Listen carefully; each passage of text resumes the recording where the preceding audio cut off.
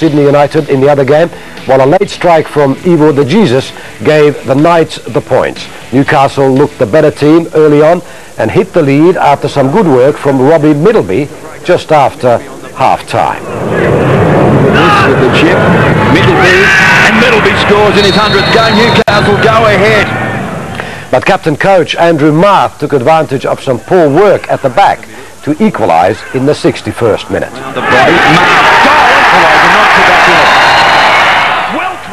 The game looked set for a draw before De Jesus stepped up to slam home the winner for the Knights ending Newcastle's unbeaten run.